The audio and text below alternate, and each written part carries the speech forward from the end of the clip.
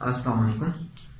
Up to this point, we have talked about uh, the basic uh, principles uh, which uh, govern the working principle of uh, DC machines. Uh, the discussion was equally applicable to both DC generators and DC motors. therefore, we utilized a general word of DC machines. We know that the same DC machine can work as either a motor or as a generator. In case of generator, there is an external prime mover which rotates the rotor of that machine at uh, some higher speed and therefore uh, voltage is induced uh, and that can be supplied to some electrical load. In case of motor, uh, we connect uh, external power supply, external battery uh, to the rotor coils and then therefore a torque is induced in the machine that drives some mechanical load connected to that. From now onwards, uh, our discussion will be specific to DC motors and in today's lecture we shall talk about equivalent circuit of uh, DC motors and we shall also talk about the magnetization curve for DC motors.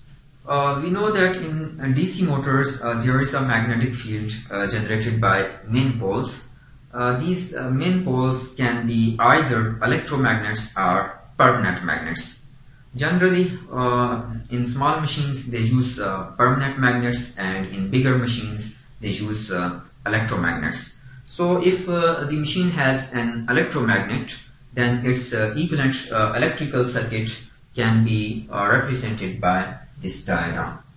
On electromagnets, we have field windings. These windings are represented by a coil, LF, although uh, in DC quantities uh, this will not have any significant role but just to indicate that there is a field winding on the um, electromagnets we have shown it over here. And then uh, these windings are made up of uh, copper wires uh, but still they do have some resistance. That resistance of field winding is represented by RF uh, these field windings are ex excited by some uh, power supply voltage source. So we have a voltage source denoted by VF.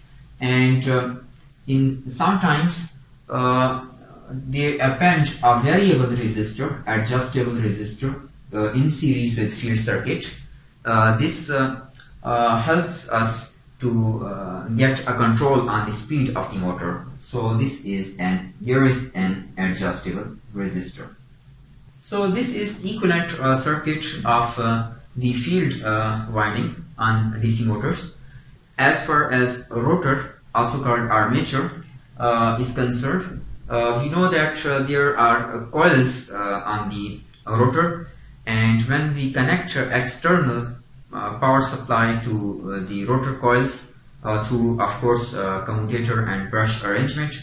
Current start flowing, starts flowing in the coils and a current carrying conductor experiences a force. And due to that force there is a torque induced in the uh, rotor of that mo uh, motor. And uh, we already learned that this induced torque depends upon the total flux in the machine uh, the total current which flows in the armature and it also depends upon a constant which is determined by the construction of the machine.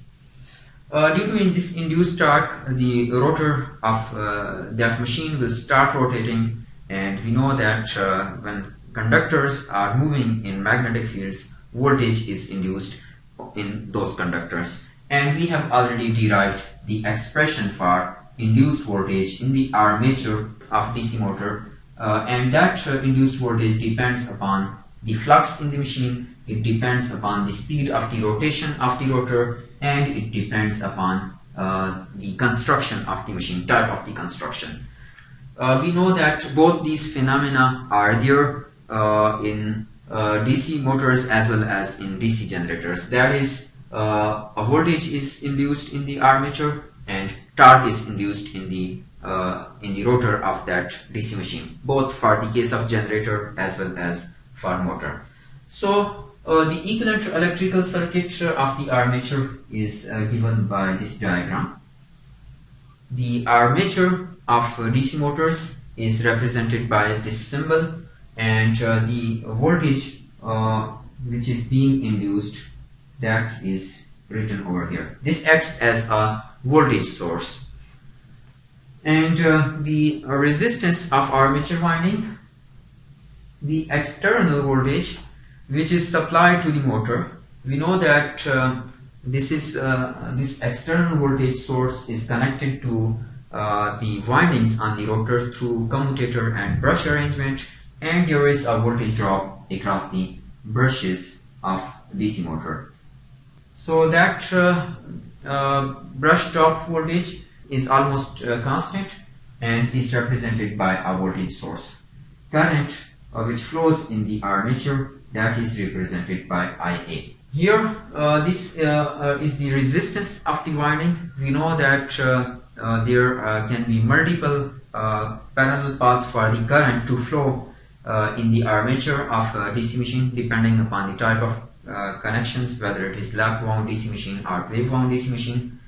Uh, so this uh, circuit is basically the Thevenin equivalent circuit that is any complex electrical circuit can be equivalently represented by a voltage source and uh, a, a resistance in series with that.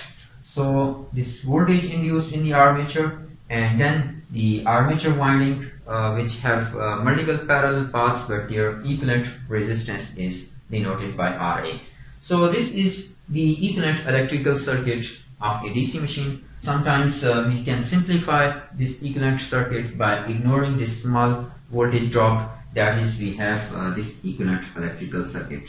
So we can even lump uh, these uh, two resistance together to represent it by a single resistor. So this is simplified equivalent electrical circuit of a DC motor. Next we talk about the magnetization curve for DC motors. Uh, we are already uh, familiar with uh, the magnetization curve for ferromagnetic uh, materials. It is uh, uh, given by this diagram. this magnetization curve relates the MMF with the flux in the ferromagnetic material.